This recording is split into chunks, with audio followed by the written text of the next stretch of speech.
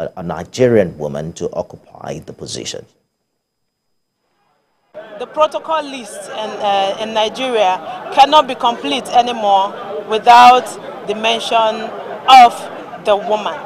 From 001 to 006, Nigerian women have sent me to tell Nigeria's leadership and the entire electorate and citizens that the time has come for Nigeria to have a woman on the presiding seat of the House of Representatives. Today we celebrate women at all levels and we say to God be the glory. May God use the women like the Esther of the old to unite our country and bring peace to our nation.